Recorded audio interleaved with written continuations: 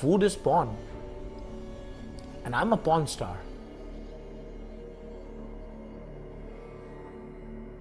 What I care the most is that every guest come here will leave behind with a memory that is a beautiful memory of food in Bangkok.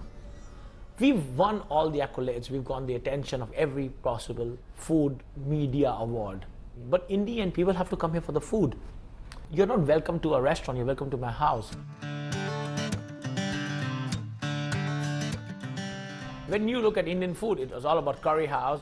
I said, hey, I'm an Indian and I have more pride in my own cuisine than any other cuisine because I was born Indian and I'd like to present Indian food which is beyond the boundary of the curry.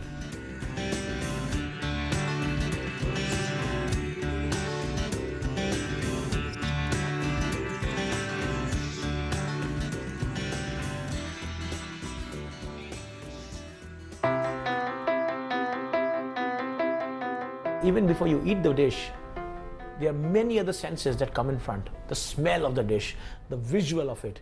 We make people eat with hands. And why by hand is because finally I took pride of being an Indian. Feel it, feel its temperature, feel its sensuality, whether it's fragile or it's hard or it's wet or it's cold or it's hot, which only can be felt when you touch it.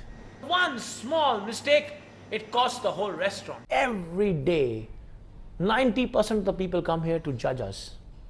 This year is the toughest year. I'm working harder. I've achieved all I could do from one restaurant. But what is my challenge is to beat myself.